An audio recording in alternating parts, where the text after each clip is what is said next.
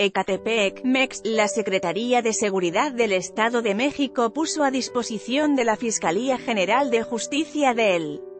Estado de México, FGJM, a tres elementos de esta dependencia por su posible participación en el homicidio de una joven mujer de 21 años quien viajaba con su familia en un auto fue asesinada a tiros por un elemento de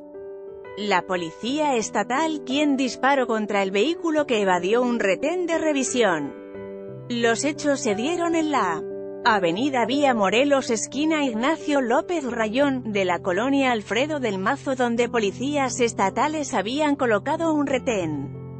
policíaco de revisión a vehículos que circulaban. Buscan a sujeto que apuñaló a dueño de DEPA en Polanco de acuerdo a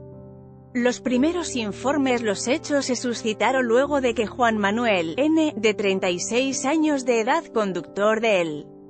vehículo tipo Suru, sedan color blanco, arrollara a un elemento de esta corporación para evitar que fueran revisados en un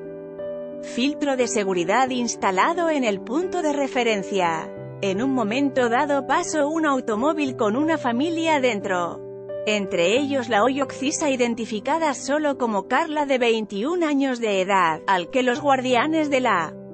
ley marcaron el alto para revisarlo, sin embargo el conductor no se detuvo y evadió el retén, motivo por el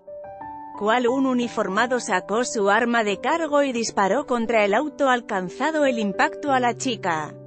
Carla fue trasladada de emergencia a la Clínica 76 del IMSS ubicado en las inmediaciones aunque la joven murió cuando recibía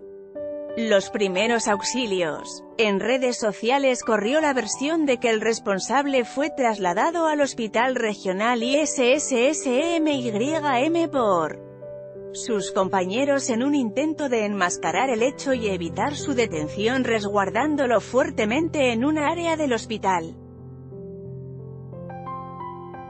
Lo que fue desmentido por autoridades del nosocomio. La Secretaría de Seguridad del Estado de México mantiene un fuerte hermetismo.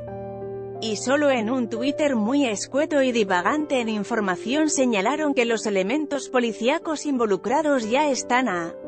disposición de la Fiscalía de Justicia del Estado de México, para determinar si existió un uso excesivo de la fuerza. En el caso de una mujer que murió en Ecatepec, con información de Gerardo Campos.